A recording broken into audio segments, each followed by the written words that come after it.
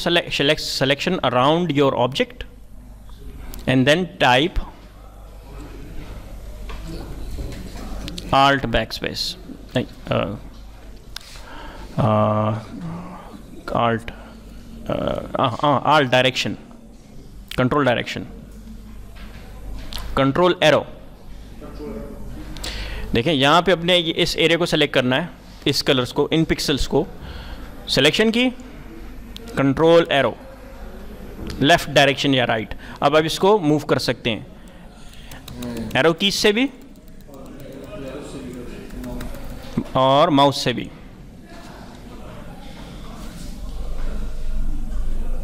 ठीक है? कुछ समझ आ रही है? इसी तरह आप इन पूरे ऑब्जेक्ट्स को सेलेक्ट करना चाहते हो तो ये देखिए selection alt backspace alt arrow backspace नहीं alt arrow control arrow control arrow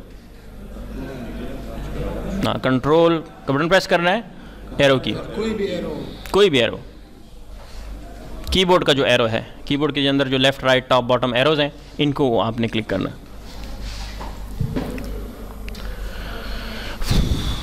ठीक हो गया? इसी तरह अगर मैं यहाँ पे किसी एक और एरिया को फिल करना चाहता हूँ डिफरेंट कलर में यहाँ पे कंट्रोल बैक स्पेस यहाँ पे डिफरेंट कलर यूज़ करना चाहता हूँ मैं। Alt backspace colour change नहीं हुआ। ठीक है?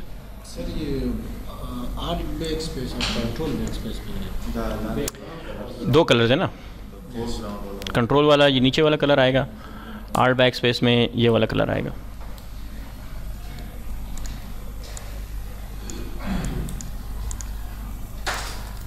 ठीक हो गया? समझ आ रही है? तो हम डिफरेंट कलर्स इंसर्ट कर सकते हैं। और फिर इन इंडिविजुअल एक ही लेयर के अंदर आप इन इंडिविजुअल एरिया को सेलेक्ट कैसे करेंगे? आप अपनी सिलेक्शन करेंगे यहाँ से। फिर उसके बाद कंट्रोल एरो की। अब इसको आप पकड़ के किसी भी साइड पे ले जा सकते हो। कंट्रोल एरो की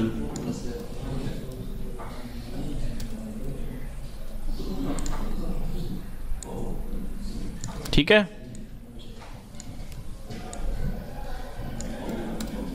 अच्छा अब आपने इस व्यू के अंदर किसी एक ऑब्जेक्ट की कॉपी लेनी है। How to take a copy of an object in our concern individual layer click on move tool या वी टाइप कर दें। ठीक है? How to take a copy of an object in our layer. ठीक है? Click on V. हाँ same layer click on V. इसको सेलेक्ट कर लें। या इसको क्लिक कर लें। फिर उसके बाद अपना माउस पॉइंटर इस ऑब्जेक्ट के ऊपर लेके आए। ठीक है? यहाँ पे पॉइंट्स के ऊपर लाना नहीं है माउस पॉइंटर इस एरिया के ऊपर। और कीबोर्ड से आर्ट का बटन प्रेस करके इसको प्रेस क्लिक करें और यहाँ से इसकी कॉपी ले सकते हैं। प्रेस वी हाँ प्रेस रखेंगे।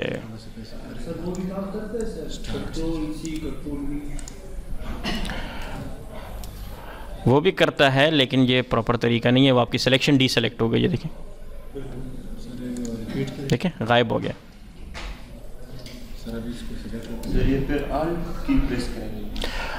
मूव आल्ट का बटन प्रेस रखना है अपनी सिलेक्शन के ऊपर माउस पॉइंटर लेके आना है और यहाँ से आप इसको सेलेक्ट कर लो। देखें सिलेक्शन अपनी जगह पे है। अब इसको मैं यहाँ से मूव करके किसी और पे भी जगह पे पेस्ट कर सकता हूँ। और ये देखें एक, उसी लेयर में हम काम कर रहे हैं ना? तो ये इंपॉर्टेंट चीज़ें देखें। उसी लेयर में हम काम कर रहे हैं तो सारी चीज़ें जो उसके नीचे आ रही हैं, वो ख़त्म हो रही हैं, अगर उसी लेयर में है। लेकिन अगर आप चाहते हैं कि जो ऑब्जेक्ट्स इसके नीचे आ रहे हैं, वो ख़त्म ना हो तो आपने फिर दूसरी लेयर को सेलेक्ट करना है। या आपने इसको क्लिक करके एक नई लेयर डेवलप कर दी है और उसको इसके नीचे रख देना है। अब इस लेयर में जो भी कुछ मैं बनाऊँगा फॉर एग्ज़ाम्पल यहाँ पे मैं डिफरेंट कलर इंसर्ट करना चाहता हूँ।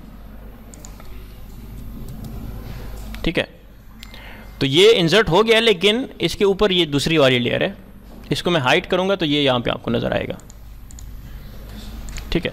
अब इसको मैं यहाँ से पकड़ के साइड में भी ले जा सकता हूँ। देखें, ये ऑब्जेक्ट उस टॉप वाली लेयर के नीचे आ रहा है। ठीक है ना? इसकी अगर आपने कॉपी लेनी है आल्ट बैकस्पेस ठीक हो गया? अच्छा एक और इंपॉर्टेंट ऑप्शन इसको मैं हाइड कर लेता हूँ। अब फॉर एग्जांपल इस ऑब्जेक्ट की आपने मल्टीपल यहाँ से कॉपी लेनी है, लेकिन स्ट्रेट कॉपी लेनी है। आर्ट के ऊपर प्रेस रखना है हाथ। और शिफ्ट के बटन को प्रेस कर लेना है। तो फिर आप सिर्फ़ स्ट्रेट लाइन इस तरह से बिल्कुल किसी भी डायरेक्शन में ड्रॉ कर सकते हैं। शिफ्ट और Shift दोनों। आल्ट शिफ्ट दोनों। देखें इस तरह से।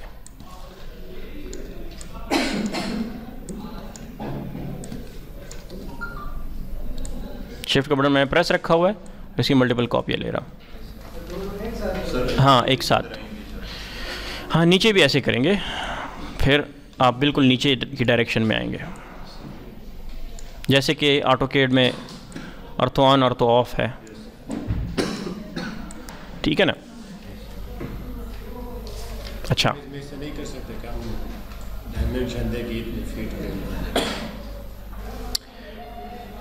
अब हम थोड़ा सा और आगे चलते हैं। इसको मैं हाइड कर लेता हूँ। इसको मैं ऑन कर लूँ। यहाँ पे ये जो टॉप पे आपको ये रूलर नज़र आ रहा है, ठीक है? व्यू पे जब आप क्लिक करते हैं व्यू पे तो यहाँ पे एक ऑप्शन नज़र आएगी रूलर्स ये अनचेक होगी। आपने यहाँ पे क्लिक कर लेना है और रूलर को ऑन कर लेना है। तो ये साइड रूलर्स आ जाएँगे। फिर उसके बाद आपने जो भी डेवलपमेंट करनी है हेल्पिंग लाइन से करनी है। फॉर एग्ज़ाम्पल ज़ीरो से लेकर छत्तीस इंच है ना? तो देखें one five inch ten inch छत्तीस इंच इसी तरह यहाँ से स्टार्ट हुआ sixty inches twelve five sixty. ठीक है ना? तो आप क्या कर सकते हो? हेल्प लेनी है आपने डिफरेंट लाइन से तो आपने माउस पॉइंटर जैसे यहाँ पे क्लिक करते हो और नीचे लाते हो तो एक हेल्पिंग लाइंस आपको यहाँ पे नज़र आएँगी। ठीक है? तो आप उन रूलर्स के हेल्प से चाहते हो कि यार फिक्स पाँच इंच के फासले पे आपके पास यहाँ पे लाइन आ जाए। हेल्पिंग लाइंस है। ये प्रिंट के अंदर नज़र नहीं आती। और ये जो एरिया है फ़लाने काम के लिए मैं यूज़ करूँगा। ये जो एरिया है फ़लाने काम के लिए, ये जो एरिया है फ़लाने काम के लिए, इसी तरह यहाँ पे ये मेरा लोगों के लिए लोकेशन हो गई। ठीक है?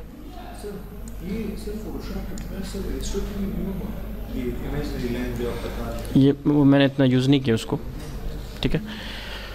तो यहाँ से होगा, लाजमन होगा उसमें। यहाँ पे इस तरह से आप ला सकते हो। देखें तो आप इस एरिया को बॉक्सेस में डिवाइड कर सकते हो।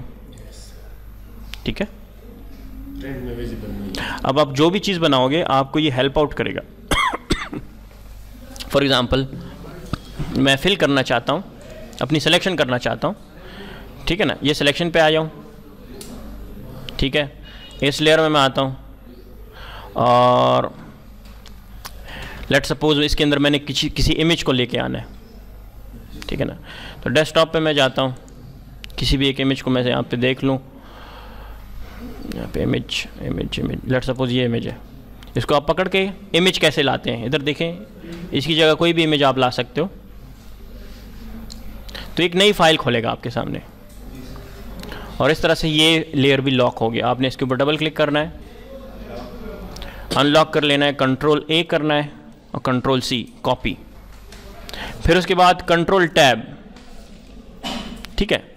और फिर यहाँ पे कंट्रोल वी ये देखें बॉटम पे एक इमेज आ गई है। Drag and drop any image ठीक है? फिर उसके बाद आपने क्या करना है? कंट्रोल फिर लेयर को अनलॉक करना है। फिर कंट्रोल ए कॉपी करने के लिए कंट्रोल सी फिर दोबारा अपनी इस फ़ाइल को देखने के लिए कंट्रोल टैब ठीक है? और वहाँ पे कंट्रोल वी ठीक है। कंट्रोल ए और कंट्रोल सी अब इसको मैं यहाँ से पकड़ के ले जा सकता हूँ कहीं पे भी रख सकता हूँ। दूसरी इंपॉर्टेंट चीज़ ये बहुत इंपॉर्टेंट है देखें अगर मैं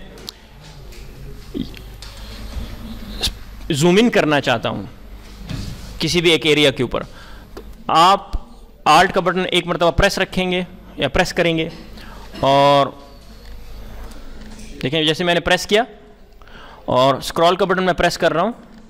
ठीक है जूम इन हो रहा है। अगर मैं आर्ट का बटन छोड़ दूँ, अब पैन होगा देखिए। नहीं हो रहा तो एक मरतबा प्रेस करना है, दोबारा आल्ट देखें आल्ट का बटन मैंने सिर्फ़ एक मरतबा प्रेस किया तो देखिए पैन हो रहा है। और मेरा माउस पॉइंटर देखें उसका आइकन भी चेंज हो गया। दोबारा प्रेस करता हूँ, अब पैन नहीं हो रहा। ना ना जूम हो रहा है, ना पैन हो रहा है।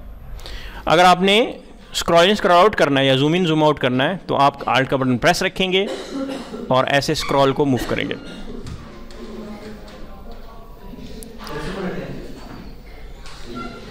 सर्कल कंट्रोल आल्ट ठीक है? फिर उसके बाद आप क्या करें? यहाँ पे आ जाएँ।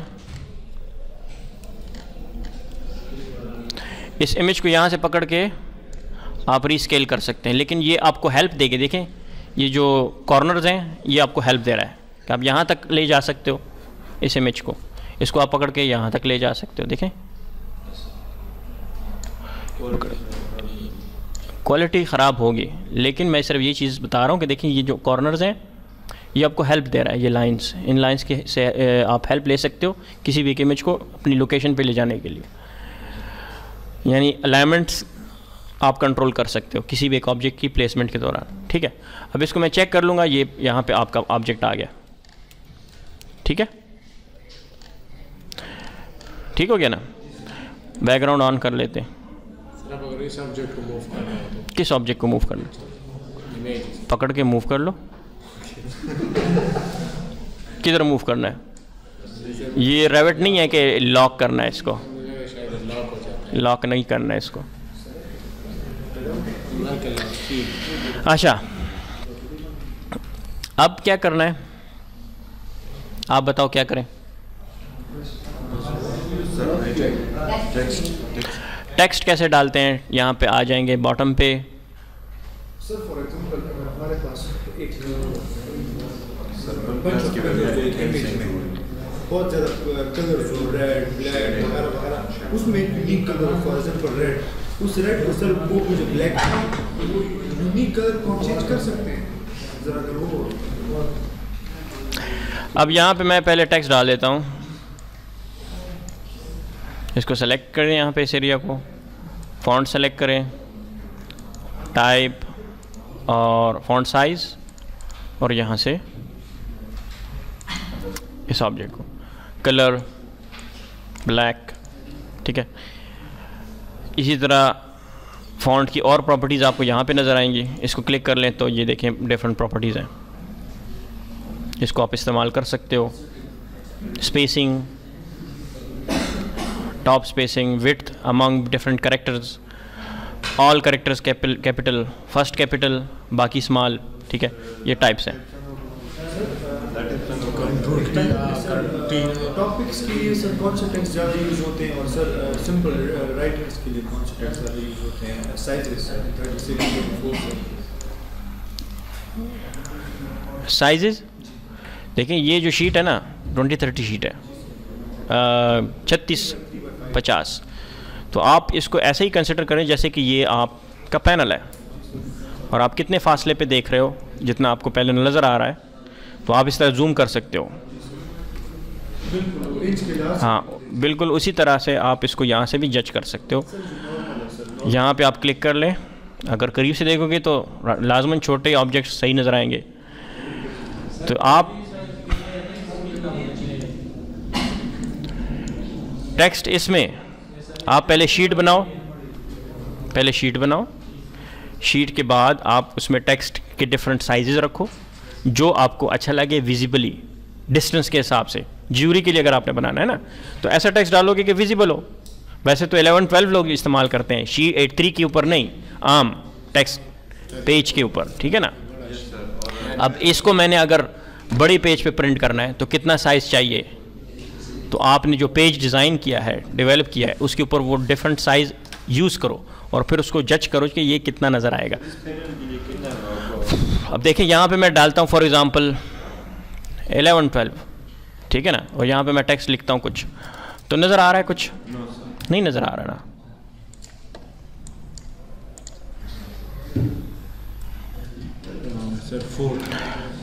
अब इसको मैं यहाँ से देखता हूँ। देखें कितना छोटा है? एलेवन ट्वेल्व ठीक है? अब इसको आप इस तरह से चौबीस कर दो। थोड़ा सा स्क्रॉल कर लो। अभी भी नज़र नहीं आ रहा ठीक है? तो आम इंफॉर्मेशन आप इतने साइज़ में रख सकते हो। ठीक है ना? इसको अगर आपने चेंज करना है तो आपने क्या करना है? यहाँ पे लेयर पे आके डबल क्लिक कर लेना है। ठीक है? फिर आप यहाँ पे आके फ़ॉन्ट बढ़ा बढ़ा दो यहाँ पे।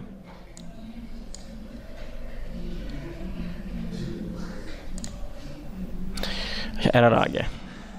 तो यहाँ तक कुछ समझ आई?